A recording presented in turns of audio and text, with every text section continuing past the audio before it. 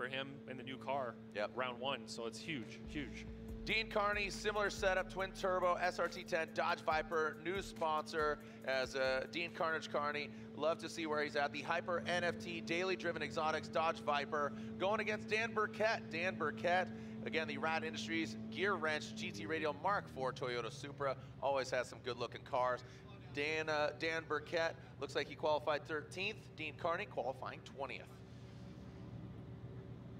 New Viper looks really good, and uh, again, that that hyper NFT. It's all about uh, hypercars, supercars, NFT in the meta, just going digital. I love it. It's cool. I, I, again, just a, a new breed of technology, and some people don't understand it. But guess what? You already understand. Somebody's gonna win. You got two amazing cars, high horsepower. Dan Burkett initiates. The GT radials go round. Nice job by Dan Burkett. Big angle. Ooh, looks like he kind of had a, a hiccup there. Threw a lot of angle out there. Look at that, massive.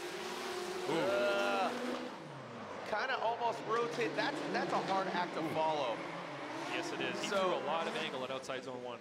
and and that's going to just absolutely throw off Dean Kearney For sure. Again, you know Dan Burkett progressed with this Mark IV Supra.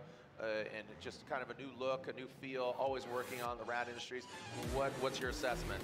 Well, let's look at this initiation first, Jared. See the cars getting the angle. Dean Kearney's in decent proximity right here, but look at the way that Rad Dan gets over angled there, looked like, and slowed down considerably.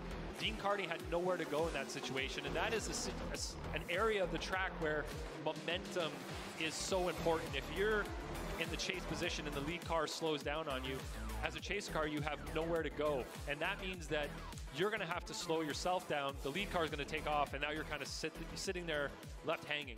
And it looks like Dean Kearney was left hanging in that situation. So the proximity is enough here that it's close enough that you could say that the, the lead car affected what's going on with the chase. It almost looked like he was going to spin in that area right there. So watch the cars. He comes around. Yeah, right big, here. big, big angle. Couple of little bobbles right there.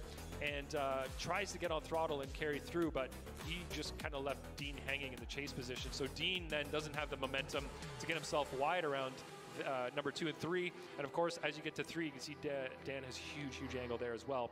And Dean Kearney's just trying to play catch up at that point. So uh, not ideal for Dean in the chase because of what happened in the lead. So uh, personally, I would put it on the lead car, and uh, I would say that the lead took away the opportunity for the chase there. I would just metaphorically say it's kind of like driving to Long Beach with all the construction. A bit of a roadblock. That's what roadblock. kind of Dan threw up, kind of Yeah. a bit of a roadblock. Says not roads closed, dog. You're not going to come through here. So unfortunately, you know, with with Rad's with Rad Dan's massive angle, I think that really did disrupt. So adding to your point, your elaboration. Yep. So now let's see what we get. Run two, the second half of this battle. Dean Karnage Kearney, that Hyper NFT Dodge Viper, now coming into view of the fans here in the building in that first outside zone. Nice snapping transition by both drivers, and I believe Dan definitely knows he's got to step up. Nice job by Dean Karnage Kearney. Look at Rad Dan now getting right tucked in.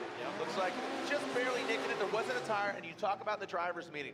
You can't hit that cone, but we're talking bumper. We're not talking tire. Don't put tread on it. Put a bumper on it. Yeah, Put a bird exactly on it. right. Portlandia. So Okay. the other issue that we're going to run into here is Dean Kearney went a little long in outside zone three and dropped a tire on that white line on the outside there. We're considering that an off course. So it'll be a one tire off. Won't be a big deal, but it's just something to add to the mix. Uh, looking at what Dean did otherwise, though, great initiation. The transition between one and two was phenomenal. So right there, you see him drop that tire. Not that big of a deal, really, in, in the overall uh, side of things, but you can see that he was fast. He was committed in the lead. Watch his initiation here gets the car quickly to angle accurately, gets back on throttle. As if you watch here, outside zone one was off a little bit, but then that transition was phenomenal to outside zone two. You can see that Dan is right behind him, but he misses three altogether. The only thing that's going to save Dean here is if the, the other judges think that uh, what happened in the lead position uh, on the first run, where uh, Dan kind of over rotated and slowed down, if they feel that that caused, um, uh, sorry, Karnage not to really have anywhere to go. So nice little wall tap there. I'm going to point it out again. So watch where the black. So at that there, there's there's the black and the gray. When it switches from black to gray, the asphalt to the concrete, you see two white stripes.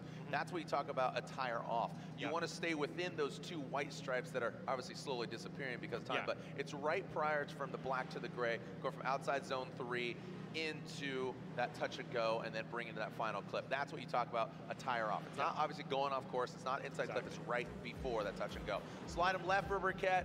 right for Dean Kearney. We've seen unanimous decisions, and there it is again, Dean Karnage Kearney. Yep. So Ryan, it's unanimous. We slide him all the way to the right.